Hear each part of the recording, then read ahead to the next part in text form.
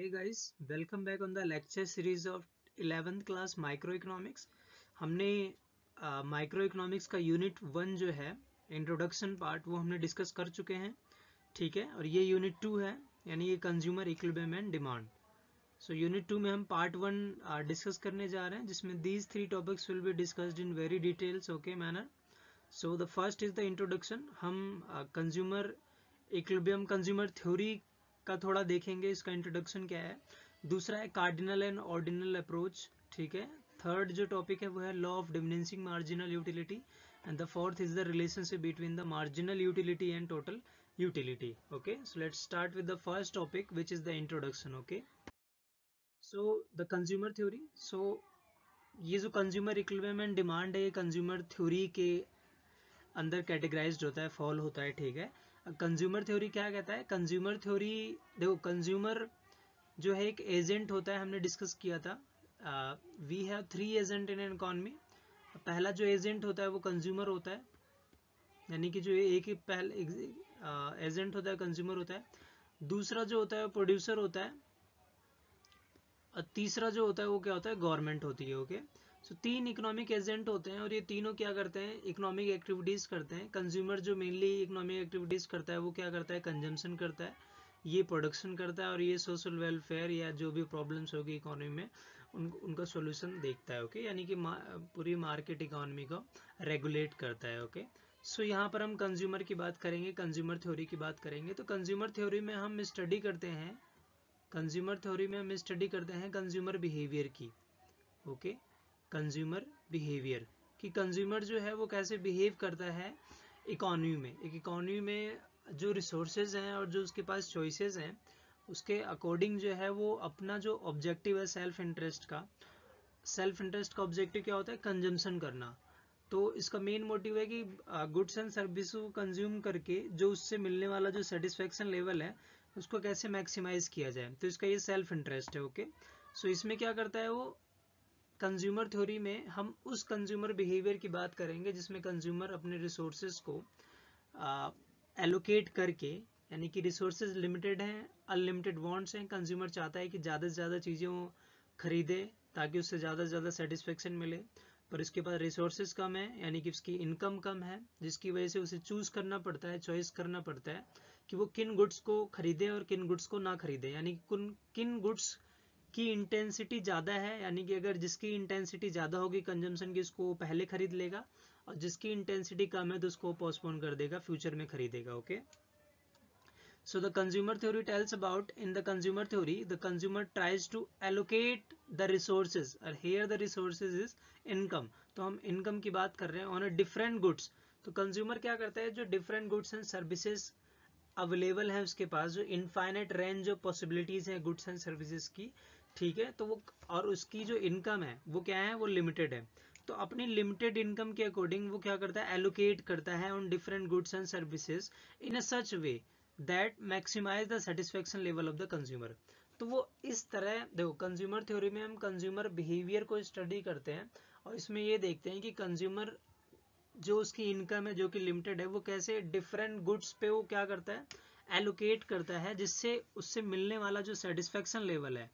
वो मैक्सिमम हो okay so late suppose करते हैं उसके पास हंड्रेड हंड्रेड जो है वो इनकम है, जिसमें से गुड्स ए मार्केट में भी है बी भी कंज्यूम करना चाहता है कंज्यूमर सी भी करना चाहता है डी भी करना चाहता है, ठीक है? ई e भी करना चाहता है तो ऐसे ऐसे करके वो उसके पास infinite range of the possibilities available हैं कि वो कुछ भी कंज्यूम कर सकता है ना? तो लेट सपोज़ करते हैं एन गुड्स हैं उसके पास कंज्यूम करने के लिए, पर उसके पास रिसोर्सेज क्या है? लिमिटेड है। तो यहाँ जो, ये जो सौ रुपए है, ये क्या है? स्कैरसिटी को शो कर रहा है। स्कैर्स रिसोर्स को शो कर रहा है। और ये जो, इतनी सारी चीज़ें वो कंज्यूम करना चाहता है एन गुड्स का, जिसकी कोई लिमिट नहीं है, ये क्या है? ये अनलिमिटेड बॉन्ड्स है। तो कंज्यूमर क्या करेगा? कंज्यूमर ये जो दिए गए हंड्रेड रुपीज़ है वो या तो ए पे खर्च कर सकता है बी पे सी पे डी पे, या फिर ए और बी को मिलाकर कर सकता है आधा आधा या ए बी सी को कंज्यूम कर सकता है और डी ई e को छोड़ सकता है, या अगर उनके उसकी इंटेंसिटी डी और ई e के ज़्यादा है तो वो डी और ई e को कंज्यूम करके बाकी और उसे क्या करना पड़ेगा? सेक्रीफाइस करना पड़ेगा।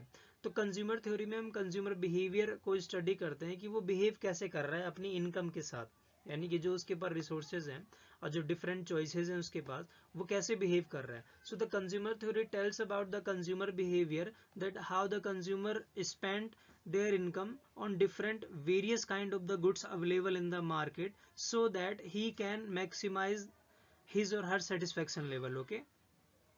So consumer का एक सोल ऑब्जेक्टिव होता है, एक ही ऑब्जेक्टिव होता है कंज्यूमर का कि वो ज़्यादा से ज़्यादा सेटिस्फेक्शन को मैक्सिमाइज कर सके ओके और कंज्यूमर क्या होता है? हमने पहले ही डिस्कस कर चुके हैं। The consumer who decides what and how much to consume in order to get the satisfaction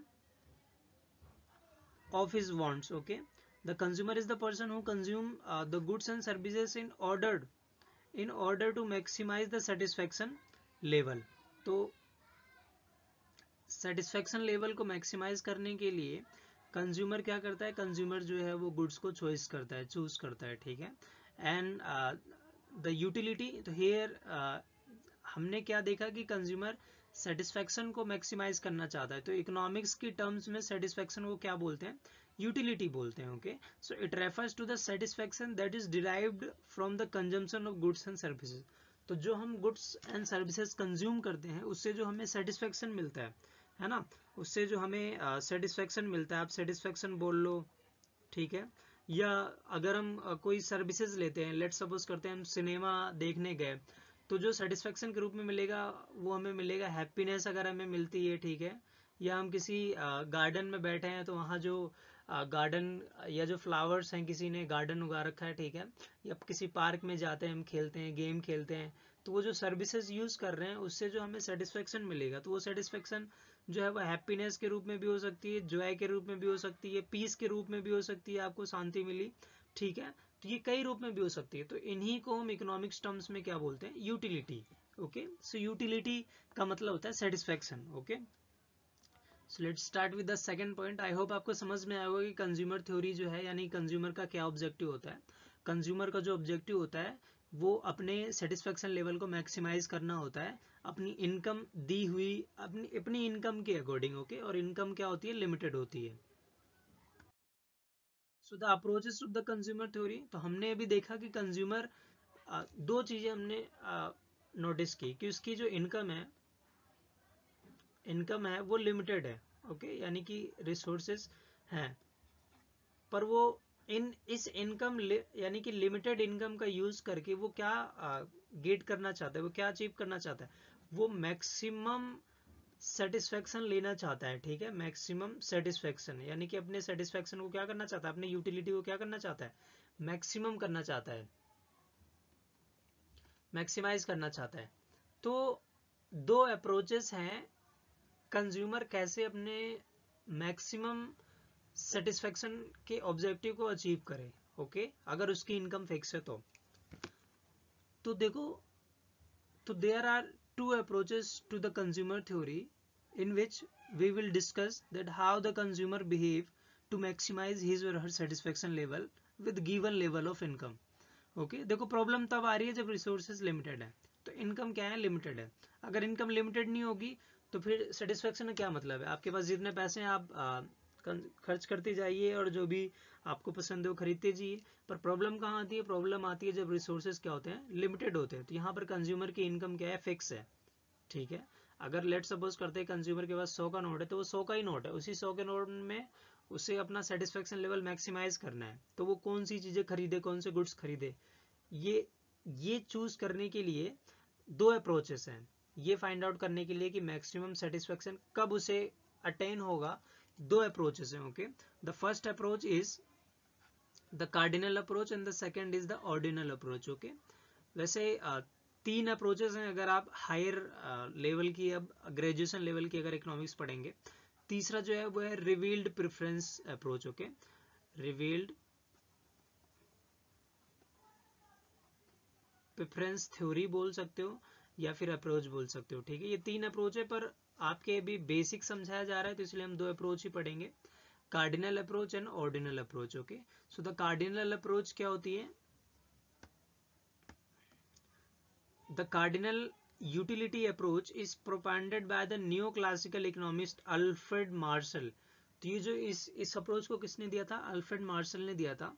who believe जो विश्वास करते हैं कि who believe that the utility यानी कि जो सेटिस्फेक्शन लेवल है हैप्पीनेस लेवल है measurable and the customer can express his satisfaction in cardinal और quantitative number here the utility can be quantified such as one two three and so on तो cardinal approach Alfred Marshall ने दी थी, जो ये believe करते हैं कि जो भी सेटिस्फेक्शन हम, जो भी हमें हैप्पीनेस मिलती है, जो भी सेटिस्फेक्शन मिलता है, जो भी यूटिलिटी मिलती है हमें गुड्स एंड सर्विसेज़ को कंज्यूम करने पर, उसे हम न्यूमेरिकल टर्म्स में लिख सकते हैं। यानी कि नंबर्स में लिख सकते हैं। यानी कि अगर आप आ, आप अगर एक एप्पल खाते हो तो आपको जितना सेटिस्फेक्शन मिला आप बोल सकते हो कि हाँ मुझे 50 यूटिलिटी मिली यानी कि 50 नंबर्स मिले ओके 50 यूटिलिटी का मतलब है कि आपको इतना सेटिस्फेक्शन मिला है ना? फॉर द सिंपलिसिटी ये माना गया है कि नंबर्स में उसे एक्सप्रेस कर सकते हैं ओके सो लेट सपोज़ करते हैं कि अगर आप ए एप्पल कंज्यूम करते हो पहला एप्पल कंज्यूम करते हो तो 50 यूटिल्स मिली। आप ऑरेंज कंज्यूम करते हो तो आपने देखा कि सिक्सटी यूटिल्स मिल रही है है ना? यूटिलिटी मिल रही है। तो आप बता सकते हो कि ऑरेंज जो है वो ज़्यादा यूटिलिटी दे रहा है ना?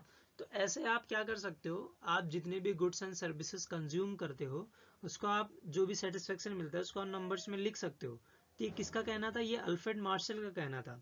The Alfred Marshall believe that the utility can be measured और quantified in terms of the numerical है ना? One two three and so on ठीक है? तो ये कार्डिनल अप्रोच में होता है और ऑर्डिनल अप्रोच क्या होती है? तो आई होप आपको समझ में आएगा कि कार्डिनल अप्रोच में हम यूटिलिटी को जो सेटिस्फेक्शन लेवल है, उसको नंबर में एक्सप्रेस कर सकते हैं। One two three hundred ten है ना? कोई भी नंबर है। The ordinal approach says the ordinal approach was propounded by the professor Hicks तो ऑर्डिनल अप्रोच किसने प्रोपाउंड किया था? प्रोफेसर हिक्स ने किया था। In which he rejected the concept of cardinal utility approach तो अब प्रोफेसर हिक्स ने जो कार्डिनल अप्रोच अप्रोच है कि हम यूटिलिटी को नंबर्स में लिख सकते हैं, उसको रिजेक्ट कर दिया। उन्होंने ये बोला कि हम यूटिलिटी को नंबर्स में कैसे लिख सकते हैं? मतलब अगर मैं कोई चीज़ कंज्यूम कर रहा हूँ या कोई सर्विसेज़ में कंज्यूम कर रहा हूँ तो मैं कैसे बता सकता हूँ कि मुझे 100 यूटिलिटी मिली है 50 मिली है 98 मिली है, या 10 मिली है, या ज़ीरो मिली है? कैसे बता सकता हूँ मैं? है ना? ये बहुत मुश्किल होता है। ये एक वैल्यू जजमेंट पे बेस्ड है ओपिनियन पे बेस्ड है, जिसका सभी का अलग अलग होता है, ठीक है? तो ये मेजरेबल नहीं है। तो प्रोफेसर हिक्स ने इसे रिजेक्ट कर दिया कि ये गलत है, ये अनरियलिस्टिक अजम्पन्स है। The ordinal approach is based on the fact that the utility of the commodity can't be measured in absolute quantity तो इन्होंने बताया प्रोफेसर हिक्स ने कि हम यूटिलिटी को क्वांटिटी में तो लिख ही नहीं सकते यानी कि नंबर्स में हम लिख ही नहीं सकते but how it is it will be possible for consumer to tell subjectively whether the commodity derives more or less or the equal satisfaction when compared to others तो कार्डिनल अप्रोच में हमने देखा कि अल्फ्रेड मार्शल ने कहा कि हम जो भी यूटिलिटी हमें मिलती है सेटिस्फेक्शन मिलता है, उसको हम नंबर्स में एक्सप्रेस कर सकते हैं। पर ऑर्डिनल अप्रोच प्रोफेसर हिक्स ने कहा कि नहीं, हम नहीं कर सकते और उन्होंने एक अपनी अप्रोच दी, जिसका नाम है ऑर्डिनल अप्रोच उन्होंने कहा कि हम एक्सप्रेस नहीं कर सकते नंबर्स में सेटिस्फेक्शन लेवल को, बल्कि हम क्या कर सकते हैं, हम सिर्फ़ ये बता बता सकते हैं कि अगर हम दो गुड्स कंज्यूम करते हैं तो हम ये बता सकते हैं कि हाँ जो पहला गुड्स है वो ज़्यादा सेटिस्फेक्शन दे रहा है दूसरे के कंपैरिजन में, या फिर कम दे रहा है या फिर दोनों बराबर दे रहे हैं। यानी कि हम ऑर्डर कर सकते हैं कि कौन ज़्यादा सेटिस्फेक्शन दे रहा है, कौन कम सेटिस्फेक्शन दे रहा है। पर हम एब्सोलूट वैल्यू नहीं बता सकते कि हाँ एप्पल जो है मुझे 50 यूटिलिटी दे रहा है और ये 60 दे रहा है है ना?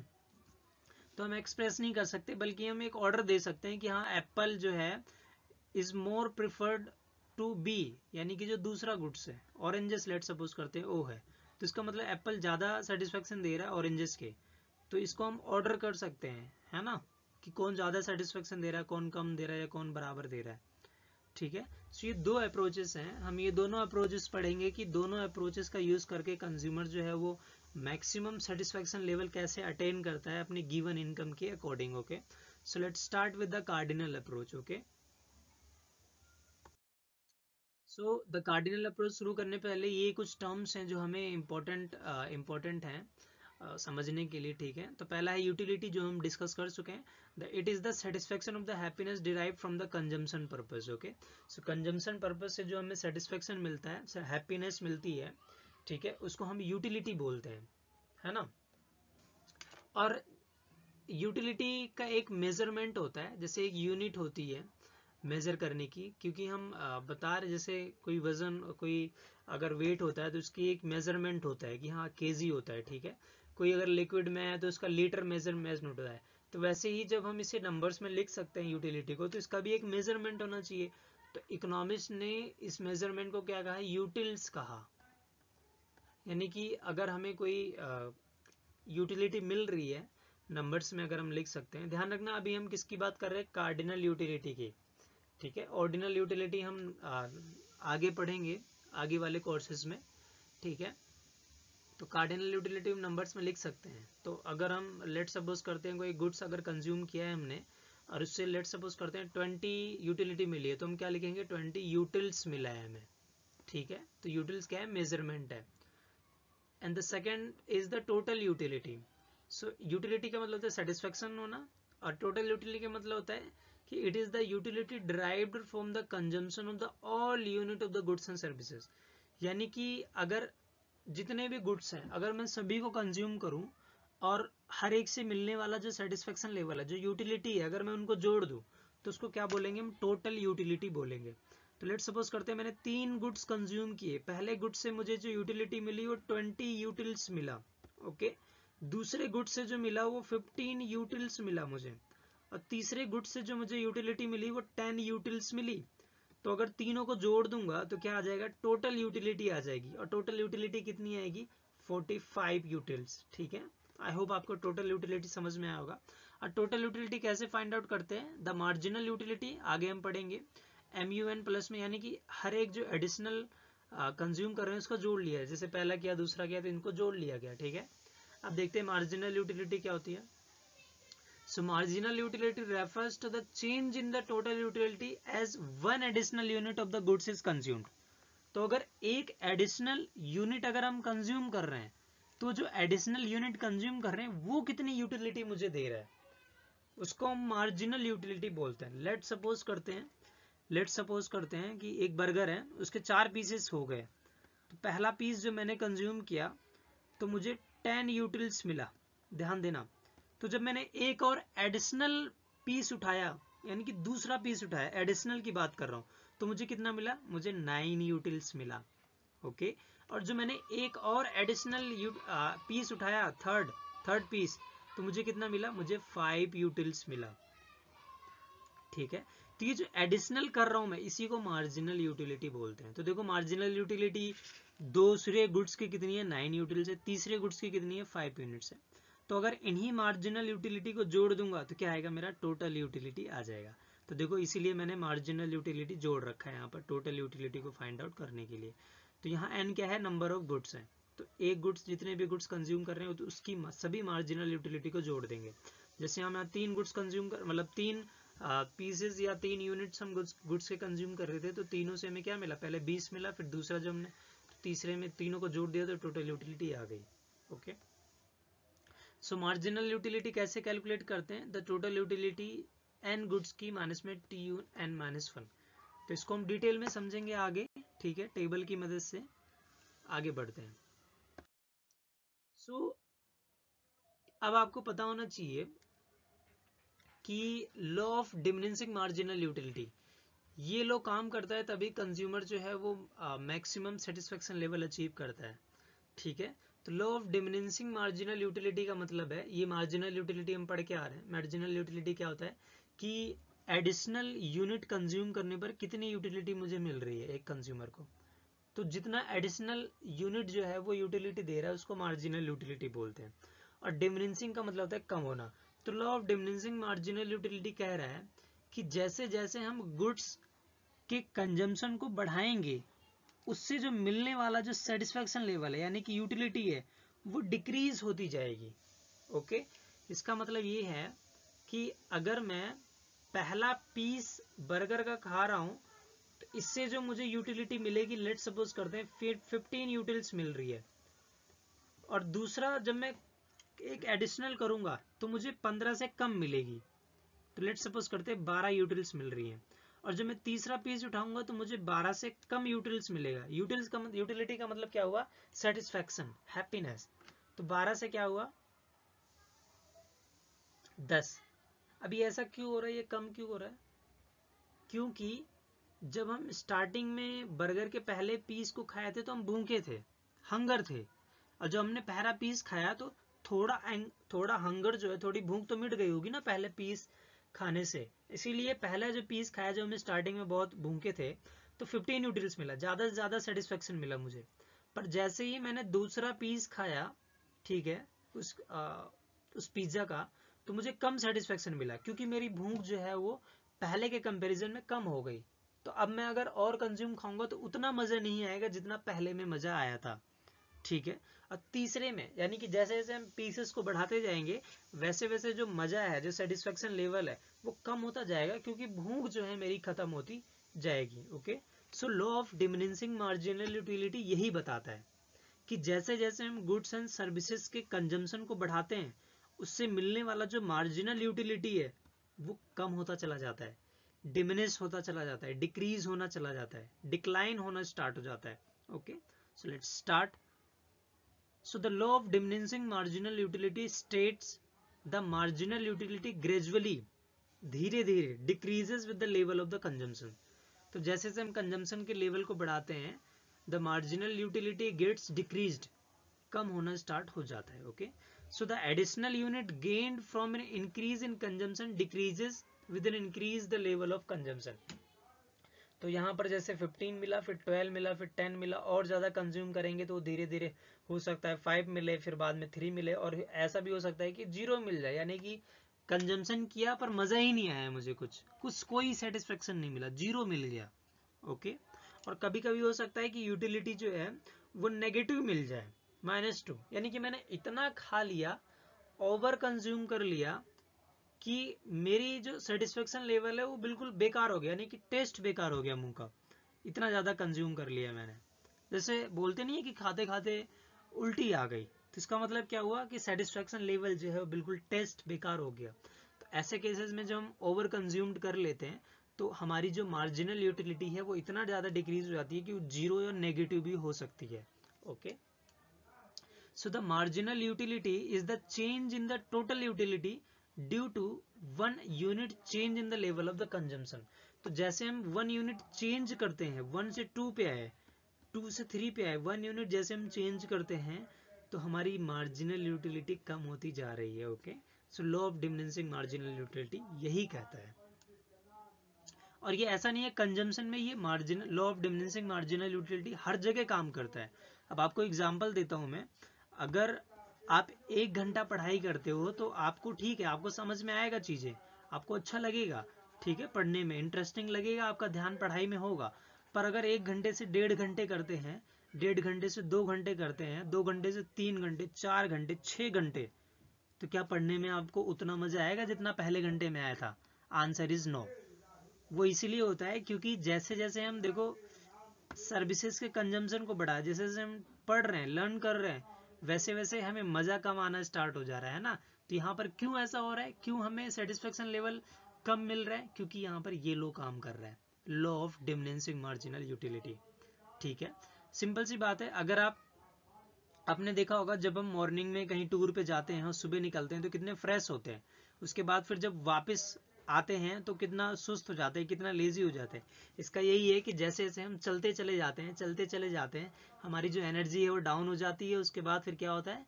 मज़ा नहीं आता चलने में, उतना सेटिस्फेक्शन नहीं मिलता घूमने में ओके फिर हम थक जाते हैं, ठीक है? या दूसरा एग्ज़ाम्पल हो सकता है कि आप मूवी देख रहे हो। आपने एक बार मूवी देखी न्यू मूवी आपने देखी तो आपको बहुत मज़ा आया। आप बिल्कुल खुश हो गए।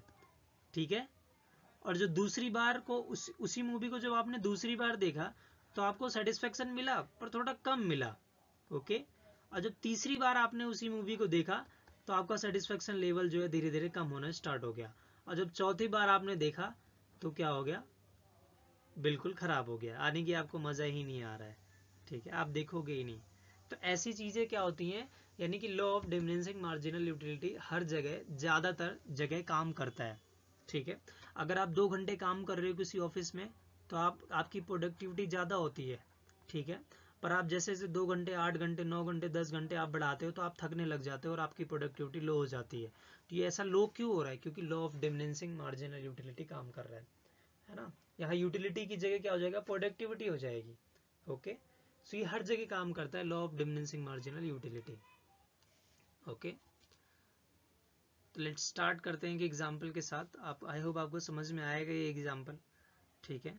सो जोन इज़ एक एग्ज़ाम्पल लेते हैं, इसी से related law of diminishing marginal utility से related so John is extremely hungry and goes to the restaurant that offers a buffet okay and he loads up his plate with the food and start eating तो John जो है एक restaurant में गया, ठीक है, जहाँ पर बफे ऑफ़र किया जा रहा था। बफे का मतलब होता है कि आप पैसे दीजिए, उसके बाद फिर आप कितना भी खाना खा सकते हैं। प्लेट में आप खुद से उठाइए, जैसे बफर सिस्टम होता है, वैसे okay he loads up his plate उसने पूरी प्लेट भर ली with food and start eating खाना शुरू किया।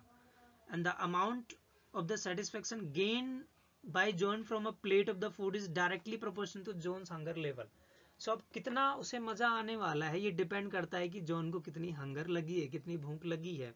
ज़्यादा भूख लगी है तो ज़्यादा सेटिस्फेक्शन मिलेगा। कम भूख लगी है तो कम सेटिस्फेक्शन मिलेगा। Therefore the first plate of the food will give John more satisfaction utility तो पहला प्लेट जो है जोन को ज़्यादा सेटिस्फेक्शन देगा। Then the second plate of the food second plate के कंपेरिजन में, है ना? क्योंकि पहला प्लेट अगर खाएगा वो अगर पहला प्लेट वो कंज्यूम कर रहा है तो उसे बहुत ज़्यादा मज़ा आएगा। पर जब दूसरा प्लेट खाएगा तो उसका पेट भर चुका है, तब उसे कम मज़ा आएगा। ठीक है? Which in turn will give the John more satisfaction than the third plate of the food और जब तीसरा प्लेट खाएगा तो उसे कम मज़ा आएगा। Okay okay? क्योंकि उसका पेट भर चुका है। So the situation above occurs because each plate of the food reduces the John hunger level तो ऐसा इसीलिए हो रहा है क्योंकि जोन का जो हंगर लेवल है, वो कम होता चला जा रहा है। इसीलिए उससे मिलने वाला जो सेटिस्फेक्शन लेवल है वो कम हो रहा है। तो इसी को हम क्या बोलते हैं? Law of diminishing marginal utility I hope आपको समझ में आया होगा। ये लो जब काम करता है तो कुछ हम इसमें अज्यूम करते हैं। ठीक है? यानी कि जो मार्जिनल यूटिलिटी है, यानी कि जो सेटिस्फेक्शन लेवल है, वो कम होना स्टार्ट हो जाता है।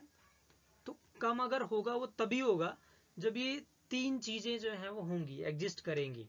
पहला है कि कंज्यूमर रेशनल होना चाहिए। तो अजम्पन्स की बात कर रहे हैं लॉ की लॉ हमने क्या पढ़ा law of diminishing marginal utility ठीक है सो हम कुछ अज्यूम करके चलते हैं कि ये चीज़ें होनी चाहिए ठीक है तभी ये लोग जो है वो काम करेगा so the rational consumers the first assumption is the rational consumer consumers should be the rational okay the consumer are assumed to behave the rationally which means the consumer should choose the product as per the taste and preference in order to maximize the satisfaction अब consumer rational होना चाहिए। इसका मतलब ये है कि consumer ऐसा नहीं है कि कंज्यूमर ने ऐसी चीज़ चूज़ कर ली। देखो कंज्यूमर अगर ऐसी चूज़ कर लेगा जो उसे पसंद ही नहीं है तो पहले यूनिट पहला जब खाएगा तभी उसकी तभी उसको मज़ा ही नहीं आएगा। समझ रहे हो? यानी कि अगर वो ऐसी ऐसी चॉइसेस करता है, पैसे खर्च करता है अपने, जो उस उस गुड्स को ज़्यादा पसंद भी नहीं करता। लेट सपोज़ करते हैं आप करेला पसंद नहीं करते और आपने करेला चूज़ कर लिया खाने को। तो आप पहला बाइट खाओगे तो आपको सेटिस्फेक्शन मिलेगा। नहीं, आप तो उल्टी कर दोगे क्योंकि आपको बिल्कुल भी कड़वा, करेला बहुत ज़्यादा कड़वा लगता है, आपको पसंद नहीं है। तो ये क्या हुआ? ये एक रेशनल कंज्यूमर का बिहेवियर नहीं हुआ। तो यहाँ क्या हुआ? यहाँ डायरेक्ट मार्जिनल जो आपको यूटिलिटी है तो डायरेक्ट नेगेटिव और ज़ीरो चली गई। तो कम होने का तो चांस ही नहीं है, आप खाओगे ही नहीं, ठीक है? तो रेशनल कंज्यूमर का मतलब क्या हुआ कि जो कंज्यूमर जो है, उसके मन में होना चाहिए कि मुझे अपना सेटिस्फेक्शन लेवल बढ़ाना है okay the second point is the continuous consumption तो दूसरा, ये लो तभी काम करेगा जब कंज्यूमर लगातार उस गुड्स को कंज्यूम कर रहा है। ठीक है? ऐसा नहीं है कि आज कंज्यूम किया थोड़ा गुड्स फिर अगले दिन फिर कंज्यूम कर रहा है। तब ये लो वोलेट हो जाता है। तब ये law of diminishing marginal utility काम नहीं करता है ओके सो इट मीन्स तो देखते हैं क्या मतलब होता है इसका। It means that the consumer continuously consumer continuously consumes every additional unit of the good. Therefore, there should not be intervals between the consumption of the other units. For example, if a hungry person eats a pizza for lunch and then eats more pizza for dinner, then law is violated because the consumer is again hungry and derives increased utility from the second pizza than he would if he tries after lunch. So interval between the consumption of the additional unit violates the law. तो let suppose करते हैं एक और example लेते हैं कि late suppose करते हैं, आप जो अभी फ़ूड की बात करते हैं, हमने एग्जांपल लिया था।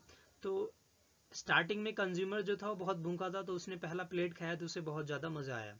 ठीक है? अब जो दूसरा प्लेट खाएगा, वो पहले प्लेट के बाद ही खाएगा।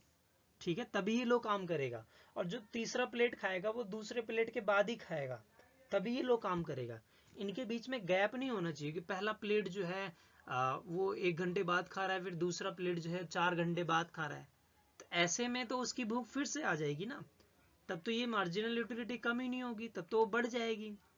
क्योंकि लेट सपोज़ करते हैं, अगर मॉर्निंग के वक्त नाइन नाइन ए पर उसने पहला प्लेट खाया, फिर बाद में ट्वेल्व एम के बाद दूसरा प्लेट खा रहा है। तो उसे तो फिर से मज़ा आएगा, क्योंकि उसकी भूख बढ़ गई है। तो दूसरे में तो मज़ा आया, फिर तीसरे में क्या हुआ, वो आठ बजे खा रहा है एट पी को खा रहा है। ठीक है, तीसरा प्लेट तो अब तो उसे बहुत ज़्यादा मज़ा आया क्योंकि उसकी भूख और ज़्यादा बढ़ गई है। तो यहाँ देखो यूटिलिटी कम नहीं हो रही है, बल्कि बढ़ रही है। तो ये लो, इसीलिए काम कर, काम करना बंद कर दिया, या वोलेट हो गया, क्योंकि इनके बीच में इंटरवल है। इतने आवर्स का गैप है, ठीक है? तो इंटरवल नहीं होना चाहिए। ये लो कहता है कि इंटरवल नहीं होना चाहिए, ठीक है? कंटिन्यूस कंजम्पशन होना चाहिए। अगर अगर मैं पहला प्लेट खा रहा हूँ तो मुझे सेटिस्फेक्शन मिला। तो पहला प्लेट जैसे ही खत्म होता है, मुझे दूसरा प्लेट भी खाना है। तब मार्जिनल यूटिलिटी जो लो है, वो काम करेगा और डिक्रीज होना स्टार्ट हो जाएगा ओके सो कंटिन्यूस कंजम्पशन होना चाहिए। The third assumption is the standard size of units तो जो आप यूनिट कंज्यूम कर रहे हो, वो स्टैंडर्ड साइज़ की होनी चाहिए, यानी कि एक जैसी साइज़ की होनी चाहिए। ऐसा नहीं है कि आप जो है, पहला आप जो गिलास पी रहे हो, वो फुल ग्लास ऑफ़ वाटर पी रहे हो, ठीक है? उसके बाद जब दूसरा पी रहे हो तो वो हाफ़ ग्लास ऑफ़ वाटर पी रहे हो। तो ऐसे में तो सेटिस्फेक्शन लेवल जो है वो ऊपर नीचे जा सकता है। ठीक है? क्योंकि आपने पहला पिया तो आपका सेटिस्फेक्शन लेवल क्या हो गया? बढ़ गया। पर जैसे ही आपने आधा गिलास पिया तो आपको मज़ा आने लग गया। ठीक है? तो स्टैंडर्ड जो होना चाहिए यूनिट्स का साइज़ जो होना चाहिए, वो इक्वल होना चाहिए। यानी कि अगला गिलास जब उठाएगा, तभी भी क्या होना चाहिए? भरा हुआ होना चाहिए। ठीक है? यानी कि जो साइज़ होनी चाहिए, वो उसी में होना चाहिए। जैसे हम चाय जो है, वो कप में पीते हैं। ठीक है? तो अगर आप चम्मच से पीना स्टार्ट कर दोगे तो पहले चम्मच में जितना मज़ा आएगा, दूसरे चम्मच में उससे ज़्यादा भी मज़ा आएगा। तो ये स्टैंडर्ड साइज़ नहीं है ना चाय पीने का, कि आप चम्मच से चाय पी रहे हो। ठीक है? या, ठीक है? या ऐसा दूसरा बोल सकते हैं कि आप जो है एक आम आम आम जो है कंज्यूम कर रहे हो, ठीक है मैंगो और आपने इसके स्लाइसेस बना लिए। और स्लाइसेस पहला स्लाइस आपने खाया, छोटा सा स्लाइस खाया, छोटा सा, बिल्कुल छोटा सा। तो आपको थोड़ा सा मीठा लगा अच्छा लगा। और फिर आपने थोड़ा सा बड़ा पीस उठा लिया तो आपको तो और ज़्यादा मज़ा आएगा। ठीक है? तो ऐसे में क्या हुआ कि देखो मार्जिनल पहले कम थी, और फिर और ज़्यादा बढ़ गई। ये, अब देखो लो काम नहीं कर रहा है क्योंकि मार्जिनल यूटिलिटी कम होनी चाहिए, पर यहाँ बढ़ रहा है। इसलिए हो रहा है क्योंकि इसका साइज़ जो है वो फ्रेम सेम नहीं है स्टैंडर्ड साइज़ नहीं है। तो ये लो तभी काम करेगा जब एक जैसे गुड्स होने चाहिए ओके सो इरेज करते हैं इसे।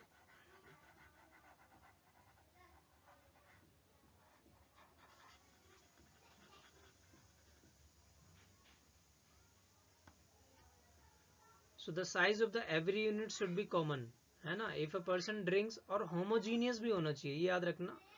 होमोजीनियस यानी कि जो प्रोडक्ट है वो होमोजीनियस होनी चाहिए। यानी कि क्वालिटी क्वालिटी प्रोडक्ट की क्वालिटी जो है और साइज़ जो है, वो सेम होनी चाहिए। ये बात हमेशा याद रखना। यहाँ स्टैंडर्ड ऑफ़ साइज़ का मतलब हुआ कि होमोजेनिटी होनी चाहिए प्रोडक्ट में।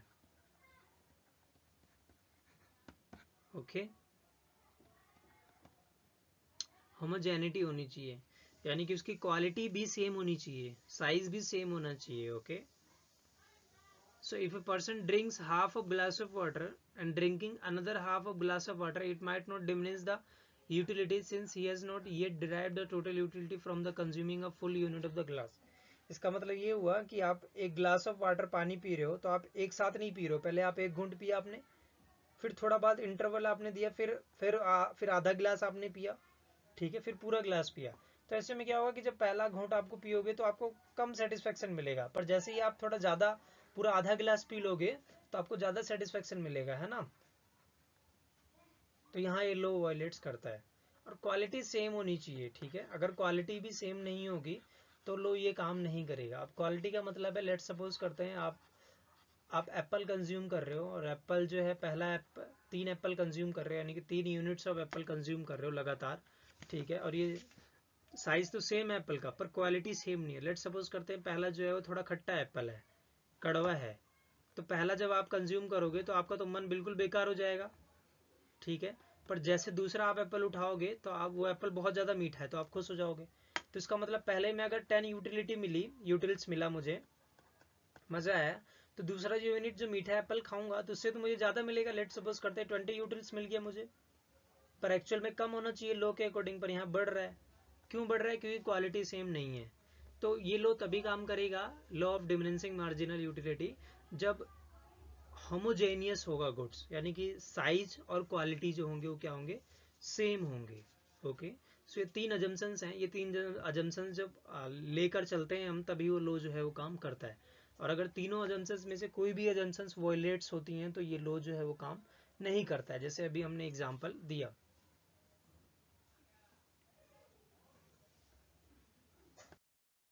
ठीक है? अब बात करते हैं exception exception of the law of diminishing marginal utility कि तीनों अजम्पन्स काम कर रही हैं।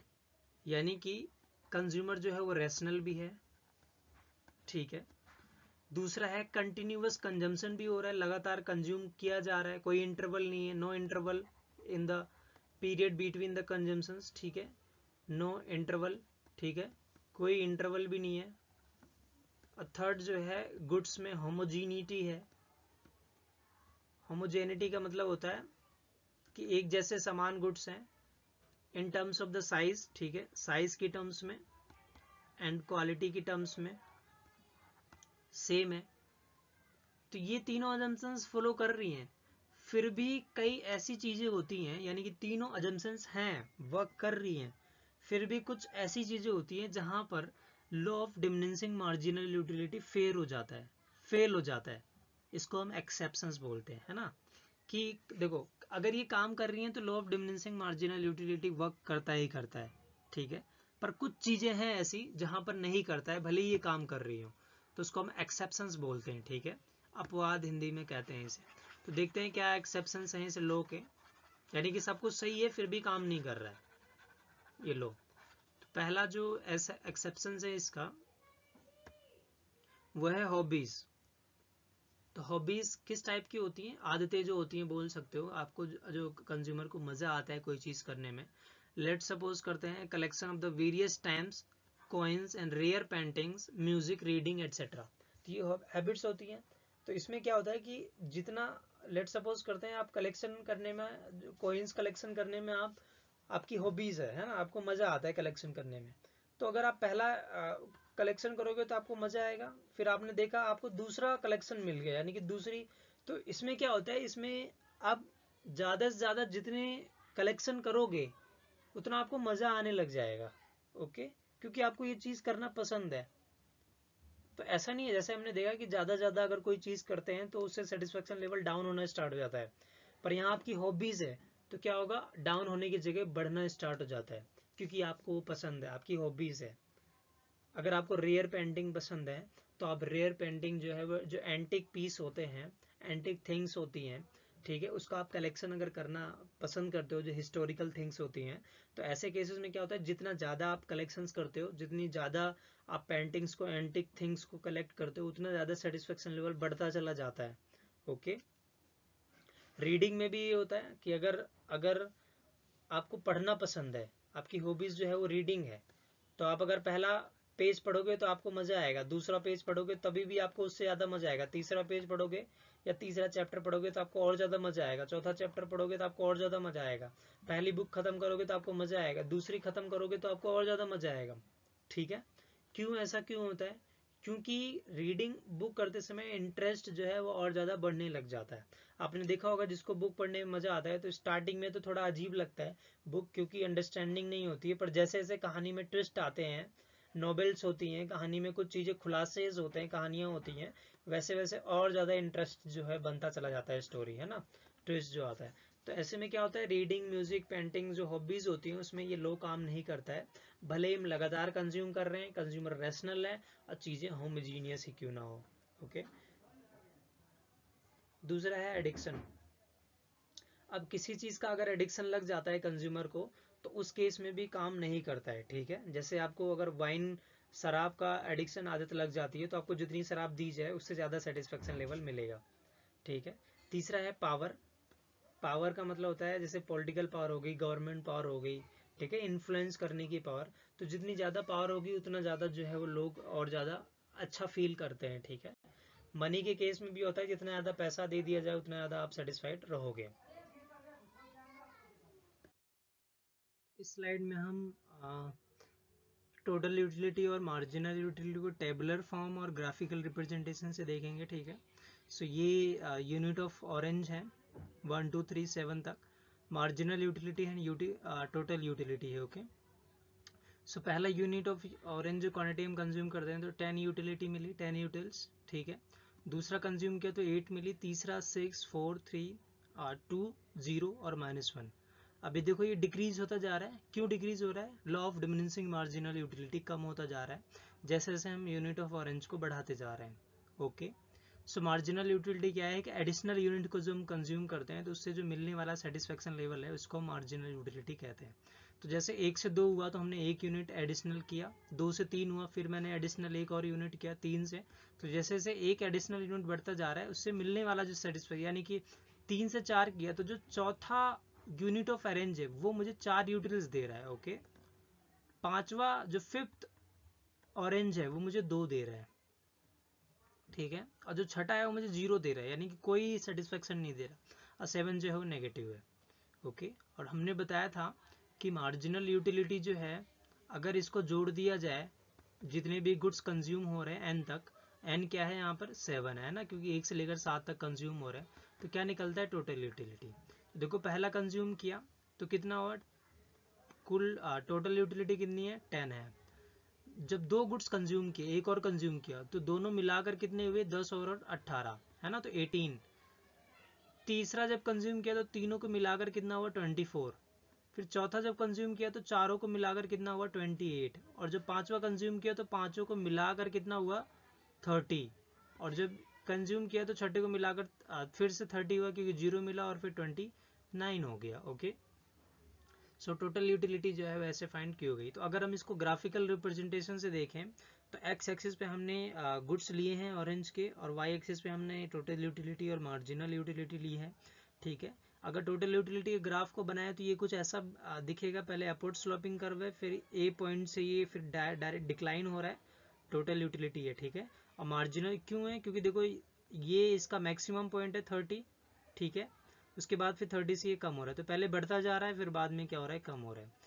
और मार्जिनल यूटिलिटी पहले टेन था फिर धीरे धीरे कम होकर ज़ीरो होकर नेगेटिव हो गया। तो पहले ये टेन था यहाँ पर फिर धीरे धीरे कम होकर यहाँ ज़ीरो हो गया और फिर नेगेटिव हो गया ओके सो so, क्या शो कर रहे हैं? तो इसके बीच में रिलेशन देख लेते हैं कि कैसा रिलेशन है इनके बीच में।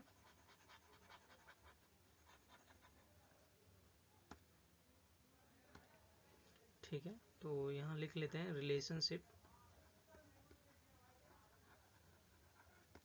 relationship between T U and M U ठीक है? तो पहला जो रिलेशनशिप है, वो ये है कि जब, यानी कि when when M U decreases then T U increases at diminishing rate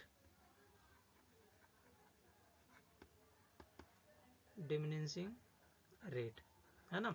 यानी कि जब मार्जिनल यूटिलिटी कम होता जा रहा है, देखो कम होता जा रहा है तो ये मार्जिनल यूटिलिटी तो जुड़ रहा है ना इसमें टोटल यूटिलिटी में।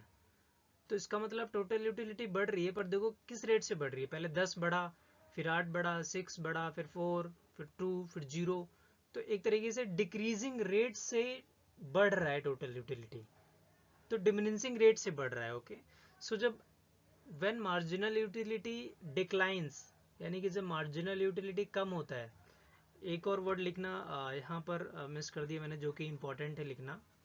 तो ध्यान देना दोबारा कि when marginal utility declines but positive पर वो पॉजिटिव है, यानी कि ज़ीरो और इसके बीच की बात कर रहे हैं कि जब मार्जिनल यूटिलिटी यहाँ से कम होकर यहाँ तक आता है but positive then then the total utility increases at diminishing rate यानी कि घटती दर से बढ़ रहा था। डिक्रीजिंग रेट से, ठीक है? दूसरा रिलेशन ये है कि when M U marginal utility zero होता है। तो देखो, जब ये ज़ीरो है, ठीक है, और ज़ीरो क्या बोलते हैं? पॉइंट ऑफ़ सेचुरेशन पॉइंट बोलते हैं। या फिर जब मार्जिनल यूटिलिटी ज़ीरो है तो देखो टोटल यूटिलिटी इसी पॉइंट पर, सबसे मैक्सिमम पॉइंट पर है ए पॉइंट पर है। तो जब मार्जिनल यूटिलिटी ज़ीरो होता है देन टोटल यूटिलिटी क्या होता है? मैक्सिमम पॉइंट पर होता है। Okay okay? और इस पॉइंट को क्या बोलते हैं? या तो टी यू इक्वल में मैक्सिमम है या एम यू इक्वल में ज़ीरो है तो इन दोनों पॉइंट्स में आप कोई भी पॉइंट्स ले लो। इन दोनों पॉइंट्स को बोलते हैं पॉइंट ऑफ़ सेचुरेशन और सेचुएशन ओके okay? आप कुछ भी बोल सकते हो। उसके बाद थर्ड जो पॉइंट है, वो ये है कि जब मार्जिनल यूटिलिटी डाउनफॉल होता है, यानी कि डिक्लाइन होता है और नेगेटिव होता है तो when marginal utility declines but negative but negative then the total utility starts to fall है ना तो टोटल यूटिलिटी क्या होता है? नीचे गिरना स्टार्ट हो जाता है ओके सो ये तीन रिलेशनशिप होते हैं टी और एमयू के बीच में। और फिर हमने मार्जिनल यूटिलिटी देखा कि कैसे क्या होता है और ये कम होता, कम होना क्यों स्टार्ट होता है। Law of diminishing marginal utility के कारण। और फिर मार्जिनल यूटिलिटी का समीशन जो होता है वो टोटल यूटिलिटी होता है। और अगर हम देख लो, अगर हम टोटल यूटिलिटी से मार्जिनल यूटिलिटी अगर हमें निकालना हो तो कैसे निकलेगा? यानी कि अगर हमें टोटल यूटिलिटी गिवन है और हम चाहते हैं कि मार्जिनल यूटिलिटी फाइंड आउट करें तो तो देखो कैसे निकलेगा। अगर हम इसकी बात करें, देखो टोटल यूटिलिटी कितनी है? टेन है। पहला यूनिट कंज्यूम किया तो टेन मिली। दूसरा, दोनों जब कंज्यूम किया मैंने, पहला और दूसरा दोनों मिलाकर तो एटीन मिली। तो पहले में अगर टेन मिली और दोनों किया तो एटीन मिली तो जो दूसरा किया उसमें कितना मिला होगा? यानी कि देखो, पहला मैंने कंज्यूम किया तो मुझे टेन मिला। और जब पहला और दूसरा मिलकर मैंने जब कंज्यूम किया टोटल तो एटीन हुआ। तो बता सकते हो दूसरे में कितना मिला होगा? सिंपल सी बात है एट तो एट कैसे निकला? एट आपने क्या किया? एट आपने टी यू टू यानी कि टोटल यूटिलिटी दोनों गुड्स की माइनस में टोटल यूटिलिटी पहले गुड्स की। जब आपने 18 माइनस में 10 घटाया तो आपको 8 मिल गया, और 8 क्या है? मार्जिनल यूटिलिटी है। है ना? तो ये n जो है, वो क्या है? यहाँ पर 2 है, और n माइनस वन यानी कि हम अब देखो 28 में से 24 घटाएँगे तो इसका आ जाएगा 30 में से 28 घटाएँगे तो इसका आ जाएगा 30 में से फिर 30 घटाएँगे, ज़ीरो आ जाएगा, उनतीस में से 30 घटाएँगे तो माइनस वन। तो मार्जिनल यूटिलिटी कैसे फाइंड आउट होता है? तो मार्जिनल यूटिलिटी जो सो जो टोटल यूटिलिटी कैसे फाइंड आउट होता सॉरी मार्जिनल यूटिलिटी कैसे फाइंड आउट होता है टोटल यूटिलिटी एन माइनस में total utility N minus one और फिर टोटल यूटिलिटी कैसे फाइंड आउट होता है सिग्मा ऑफ़ मार्जिनल यूटिलिटी ये इंपॉर्टेंट है, ये रिलेशन है और ये ग्राफिकल रिप्रेजेंटेशन है ओके थैंक यू